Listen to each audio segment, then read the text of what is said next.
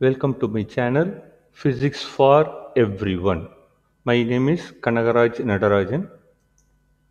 So today topic is Young's double slit experiment. To understand Young's double slit experiment, we should know about superposition of waves, coherent sources of light, interference of light, what is constructive interference, and what is destructive interference. After this, we will be learning Young's double slit experiment in detail. Then next, we will be seeing some tips and tricks for shortcuts for solving problems in competitive exam. Superposition of waves. When two similar waves propagate simultaneously, then the resultant displacement is given by the formula y vector equals y1 vector plus y2 vector. Here we are going to deal these light wave as mechanical wave. Then only we can able to explain the double slit experiment. We are not using electromagnetic waves in explaining this double slit experiment. This holds good. Right. Coherent sources of light. Sources of light emitting light of same wavelength, of course same frequency, having zero or constant phase difference are called coherent sources of light. Interference of light. Redistribution of energy due to superposition of wave is called interference of light. Very simple idea. Superposition of waves, coherent sources of light and interference of light. Now, let us learn about constructive interference. Now, let me close one source here, S1. I close S1. Now, the wave coming from S2 reach the point O. It has how many wave? One wave, two wave and three wave. Alright, good. Let me open the S1 and let me close S2. Now the waves are coming from S1 that reaches O. How many waves are here? One up, one down, one wave, two wave and three wave. Right? So S1, S2 are equal distance from O. So the number of waves between S1O and S2O are equal. So the point O receives waves from S1 and S2 are in in phase, right? They vibrate together, right? That's what you need to understand. So let us now look at what happens when two waves are coming from S1, S2 reaching O. Look at O. The two waves reaching O have the same state of vibration. The next moment they two together goes up. So this is called constructive interference, gives a bright band.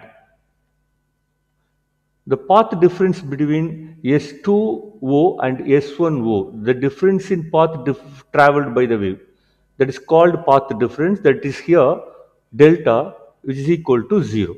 So S2O minus S1O equals the path difference delta, that is equal to lambda, that is equal to 2 lambda, that is equal to n lambda, then that particular point becomes a constructive interference. It becomes a bright band the points becomes bright fringe. So let us go for destructive interference. Look at S2 that gives waves that goes to P, right? How many waves are here right now? One wave, two wave, three wave, three and a half waves are there. Now check how many waves are there between S1 and P? One wave, two wave and three wave. So S2 is accommodating on half wave extra. Let us check now right at p right the waves coming from s1 and s2 meeting at out of phase they are 180 degree out of phase one goes up one goes down so the effect cancel each other the intensity becomes zero this is called destructive interference you get a dark band so s2p is the first path s1p is the second path the path difference is delta. Now it accommodate one half lambda, right? When S2P minus S1P equals the path difference, which is equal to half lambda, then we get a destructive interference. When this half lambda becomes three and a half, one and a half lambda, two and a half lambda, we'll be getting the same result. The points become dark. S2O minus S1O equals n lambda means destructive interference. S2P minus S1P equals delta which is equal to 2n minus 1. 2n minus 1 into lambda by 2 means it is destructive interference. The points become dark. right? So let us go now.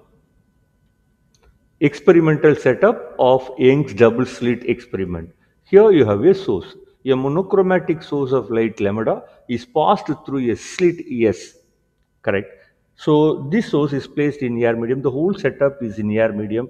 So refractive index, we take it as 1.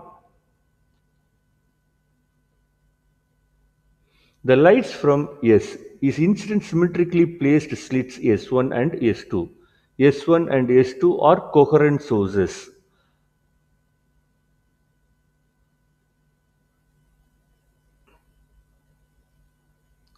On the screen, a pattern is visible which consists of alternative bright and dark bands called fringes running parallel to the length of the slit. By this experiment, Young established the wave nature of light. This is one of the best example for proving light travels in the form of wave.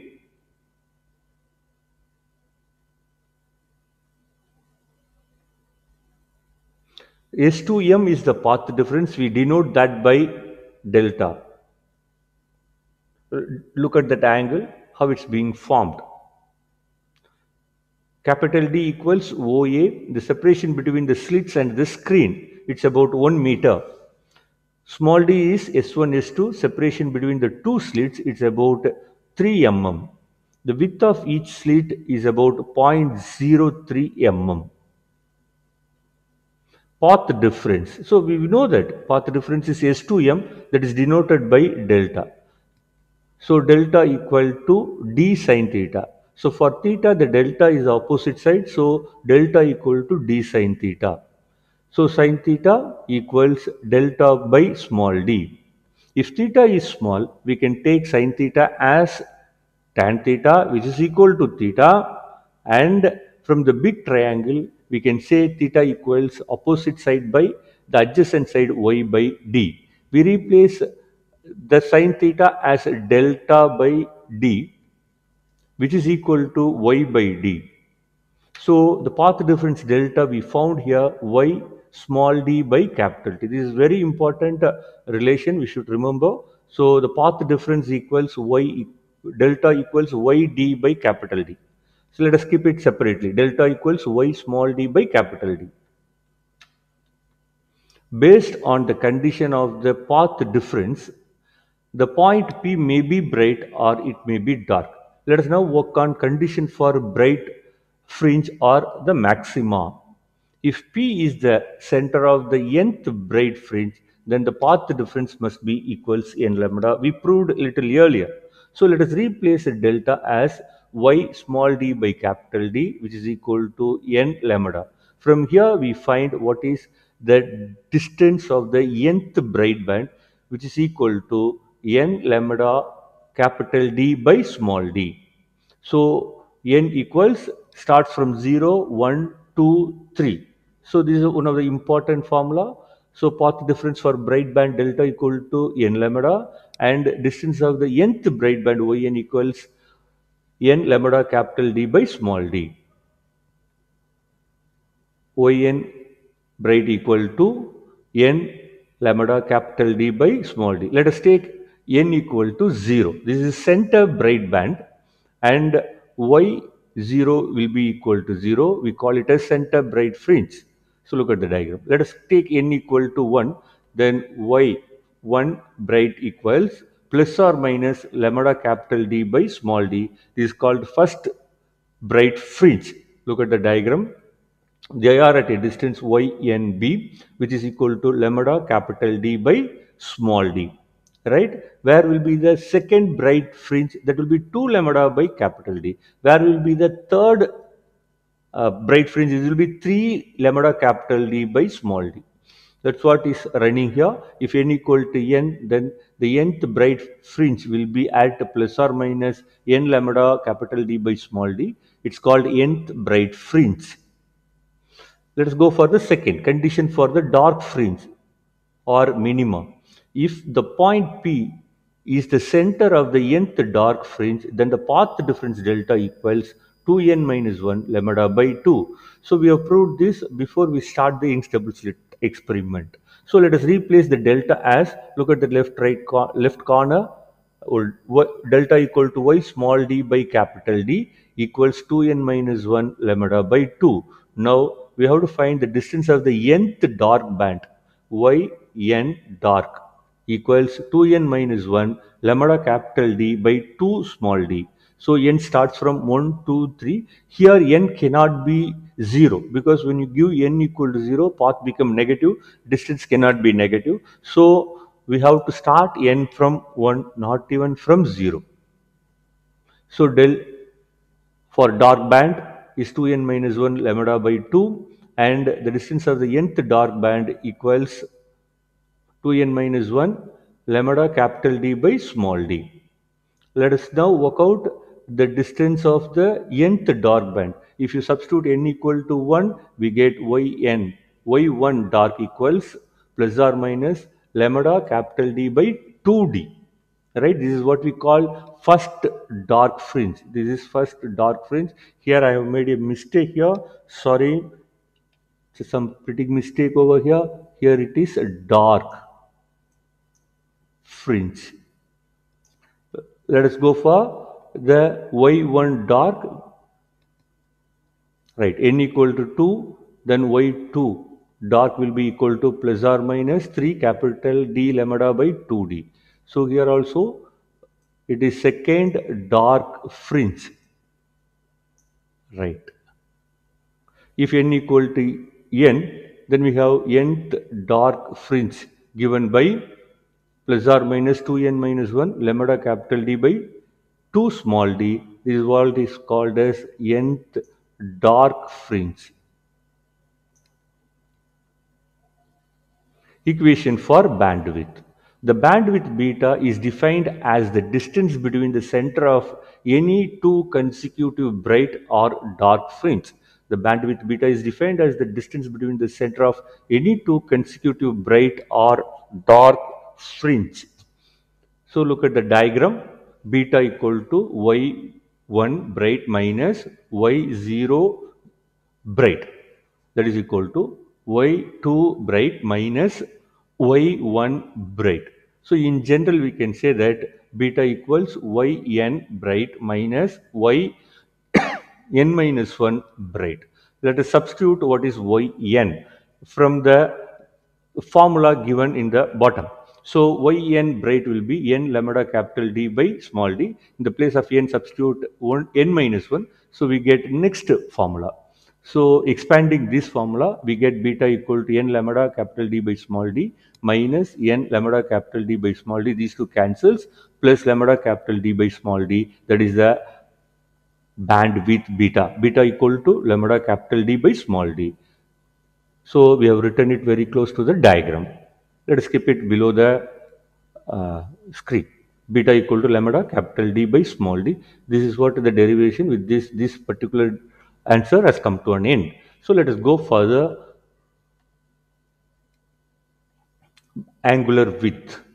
So look at the diagram. The theta naught is being framed at the uh, center of S1, S2. This angle is from any two bright or any two dark fringe. The angle between any two bright or any two dark fringe formed at the center of S1, S2. So as the bright and dark fringes are of the same width.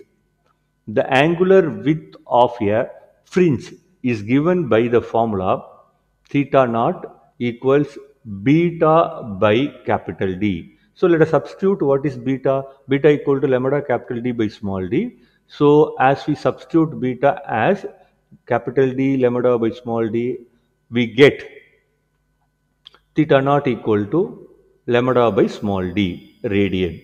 This is the angular width of the experiment, bright or dark fringe. Theta naught equal to lambda by small d radian. Let us go for tips and tricks for shortcuts. Let us know. Beta is independent of n. So look at the formula beta equal to capital D lambda by small d. So here there is no n term, so beta is independent of n. Beta proportional to lambda. More is the wavelength, more will be the bandwidth. The fringe width of red light are wider than the fringe width of violet light. Angular position of nth bright fringe. Look at the diagram. Right this is the angular position of the first bright band. So theta equals yn bright by d. So we have already found yn bright look at this formula. In this formula ynb divided by capital d will be equal to n lambda by small d that is what he given here so theta is the angular position that is given by n lambda by small d let us go for the d. Angular position of the nth dark fringe that will be again theta equal to yn dark by capital D which is equal to 2n minus 1 lambda capital D by small d. Now this full setup is placed in a medium of refractive index mu. Now let us go. If YDSE is performed in a medium of refractive index mu, the wavelength in the medium becomes lambda by mu. So lambda is the wavelength in vacuum or air. Lambda prime is the wavelength in medium. So lambda prime will be equal to lambda by mu. So let us go for the formula. Beta prime will be equal to capital D lambda prime by small d. Let us replace lambda prime by lambda by mu. So beta prime will be equal to capital D lambda by mu d. So 1 by mu we take it out, the remaining term is beta. So 1 by mu times beta is beta prime. So the fringe width decreases because of the presence of the medium because mu is greater than 1. Beta prime will be equal to beta by mu. Look at the diagram, we have changed it to beta prime equal to beta by mu, right? If bichromatic light is used, the fringes of two wavelengths will be coincident for the first time when y equal to n beta longer equals n plus 1 beta shorter. This is for bichromatic light, uh, right? So in general formula, n beta L equals n plus 1 beta S.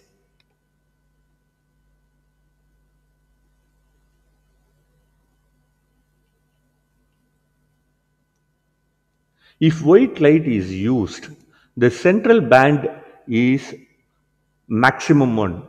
It's a bright one. It's in white color with red edges. On either side of it, we'll have colored bands and then uniform illumination. If white light is used, this gets repeated, sorry. Constructive interference. We have seen this. For constructive interference, the path difference is equal to n lambda. There is no doubt about it. So then why we have come again to here? It's because time interval between two waves, right? S1O and S2O. So they have the same number of waves. So there is no uh, time gap. So time gap is zero between these two waves reaching O. So for the center bright band, the time gap will be zero. For the first bright band, it will be 1t. For the second bright band, it will be 2t. Right? Resultant amplitude is A max is equal to A1 plus A2. Resultant intensity is I proportional to A square. So we get I max equals A1 plus A2 the whole square. So I max equals root I1 plus root I2 the whole square. Let us go for destructive interference. The path difference equals 2n minus 1 lambda by 2. We get dark fringe. Then the time gap between the two wave is time traveled by that half wave extra. That will be t by 2. Right? So del t will be equal to 2n minus 1 t by 2. For the first dark, substitute n equal to 1. Uh, so then you get 2 minus 1 is 2, 2, 2, 2 minus 1, 1. So you get t by 2. So it's half the time period. right. Uh, for the second uh, dark fringe, it will be right uh, 3 by 2 capital T.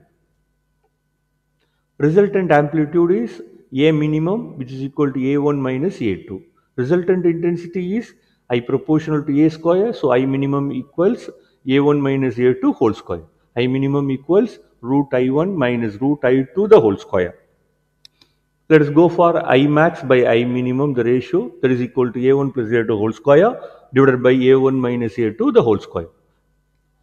So I max by I minimum equal to root of I1 plus root of I2 the whole square divided by root of I1 minus root of I2 the whole square.